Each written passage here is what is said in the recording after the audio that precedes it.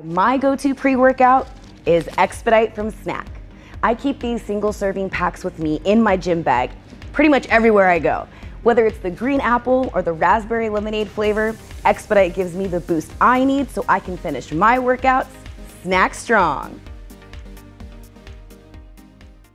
What do you think of the fight, bro? I thought it was a good ass fucking fight. Yeah? I thought it was a really good fight. Thurman looked pretty good. He didn't look like he had ring rust, right? Well, I, I thought I thought Thurman was very impressive. Uh, it was a really good fight. I thought Barrios was gonna win before, you know. But but, but, but he uh he looked he looked really good, and he has a really good fucking hook. Yeah. Overall, man, what impressed you the most about Keith? Hey, wait, wait, wait, wait, wait. Wait, wait, wait, wait, wait. What uh, you know, switching back to you. When when is this fight with Tank gonna happen? I'm not sure. I wish it was right now though. Where that ugly motherfucker at? What happens? What happens in the fight? happening or what?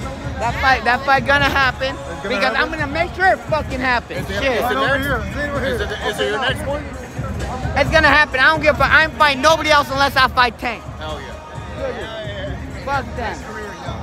If, Thank you. uh, if that doesn't happen, you know. What about Isaac Cruz? What do you make about that? You and him?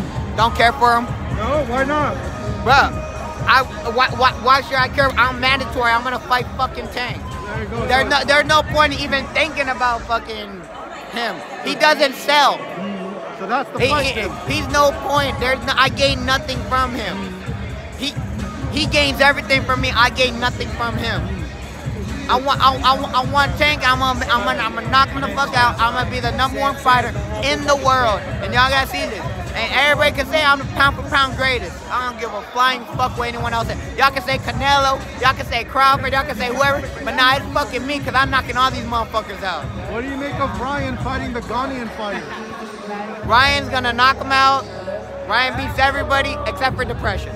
Depression beat the shit out of him. Thank you, Rolly.